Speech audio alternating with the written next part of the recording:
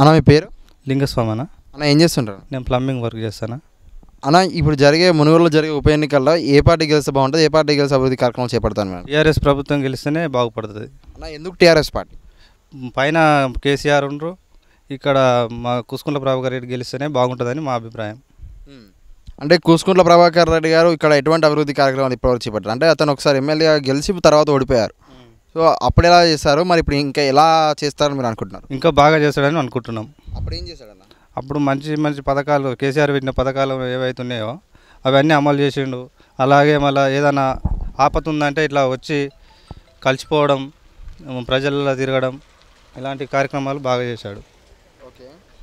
అన్న ఇది ఇప్పుడు జరిగే ఉప ఎన్నికల్లో ప్రభాకర్ రెడ్డి గారిని ఎందుకు వద్దనుకుంటున్నారు? ప్రభాకర్ రెడ్డి గారిని ఏం వద్దనుకుంటలేను కదా.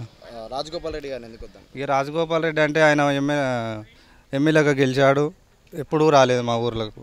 ఏ పథకాలు ఆయన చే చేయలేదు కాబట్టి మేము కుసుకుల ప్రభాకర్ రెడ్డి గారే గెలవాలని కోరుచున్నాం. అన్న రాజగోపాల్ రెడ్డి గారు ఇప్పుడు తన సొంత ఇల్లు ఆయన కాంగ్రెస్ వదిలేసి బీజేపీలోకి పోయారు. సో దానిపైన మీ అభిప్రాయం ఏంటన్నా? ఇక ఆయన సొంత బిజినెస్ల గురించి ఆయన అట్లా బయటకు వెళ్ళిపోయినా అని అనుకుంటున్నాం.